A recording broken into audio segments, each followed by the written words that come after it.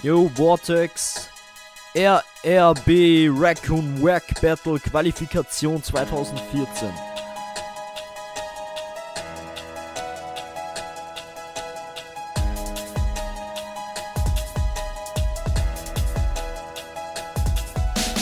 Leute fragen mich, wie ich überhaupt auf Rap kam. Ich sag so, da der Link, geht drauf, check mal. Diesen einen Wacken, Spasten da, der hat doch rein gar nichts auf dem Kasten, Mann.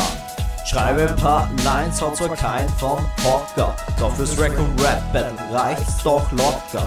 Mit einer Niederlage im NRB haben sie mich nicht klein gekriegt, eure Runden langweilen mich, ich bin fast eingenickt. Angefangen bei Brockdick und seinen wie vergleichen, mit deinem Wortschatz wirst du mich nie erreichen. Sie lispeln da Massenidiot, Achtung jetzt bist du im Modus, deine Mutter stinkt wie Kot.